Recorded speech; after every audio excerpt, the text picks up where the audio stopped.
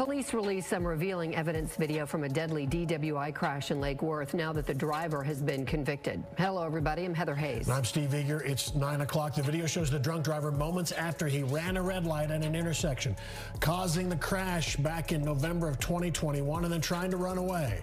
But an angry Good Samaritan did not let him leave. Police also released video from an ongoing investigation into the bartender they say overserved then 26-year-old Dylan Molina, who looks like he's stumbling drunk right before this crash.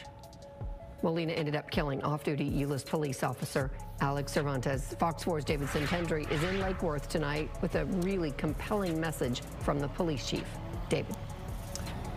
Yeah, Heather and Steve, the chief of police says Dylan Molina was served more alcohol than anyone should drink. After that, he was involved in a minor crash in a parking lot, and from there he fled the scene, ran a red light, and got involved in another crash, one in which he killed Detective Alex Cervantes, also injuring his family.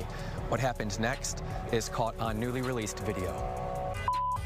Dylan Molina, wearing a black University of Oregon hoodie, drunkenly crashed his rental Jeep into a sedan while driving at a high rate of speed through a Lake Worth intersection moments after the crash.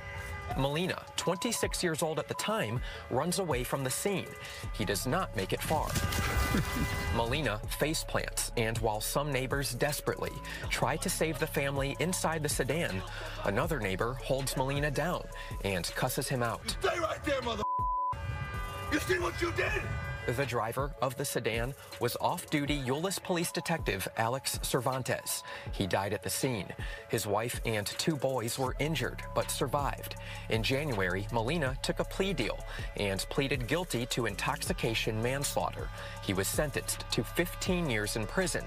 Now, bartender Kayla Richardson is facing a misdemeanor charge for allegedly over-serving Molina before the crash. It is the same approach that we apply to all DWI investigations, all fatality crashes that involve alcohol. Lake Worth Police Chief J.T. Manoushagian is showing Fox 4 surveillance footage of Molina and Richardson at a Fuzzy's taco shop. And there you see Dylan Molina walking from behind the bar area from the inside out to the outer bar area and you see the bartender waving him around telling him you know you can't be back there you need to move at this point, he stumbles backwards, grabs the bar to try to maintain his balance. Richardson served Molina eight double vodka Red Bull cocktails that Saturday morning, according to an arrest affidavit. Eight doubles, 16 single shots is more than anybody should have in a three hour period, maybe even at all. Clearly intoxicated.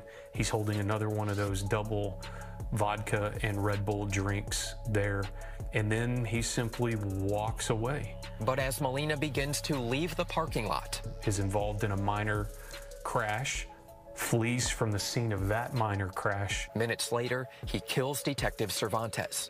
Earlier this month, Fox 4 sat down with Cervantes' widow, Priscilla, as she spoke about raising a family without her husband and Molina's 15-year sentence. It's not going to bring Alex back, but at least he's locked behind bars and he's not able to hurt another family like he did ours. Lake Worth police showed Priscilla the video of Molina running away. Now the department wants everyone to see it because they say it highlights a heartbreaking story, which hopefully someone can learn from. The offense of driving while intoxicated is something that we're not going to tolerate.